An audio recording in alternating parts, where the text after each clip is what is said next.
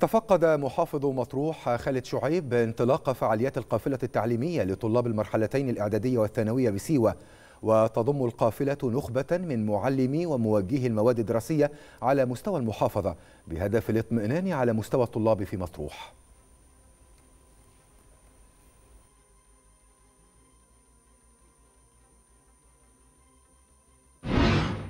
قافلة يعني متكونة من السادة موجهين المواد التعليمية والهدف منها الأساسي برضه هو نحن بنطمن على مستوى أبنائنا خصوصا في الأماكن البعيدة اللي زي كده وفي الوقت نفسه بنسد العجز لو في عجز في بعض المدرسين أو في بعض التخصصات السادة موجهين القافلة التعليمية هم بيسدوا هذا العجز من خلال الشرح المستفيد لأبنائنا وبناتنا داخل الواحة. أنا تفقدت النهارده القافلة التعليمية بكل مراحلها سواء الشهاده الاعداديه والشهاده الثانويه وسنة أولى وثانية ثانوي.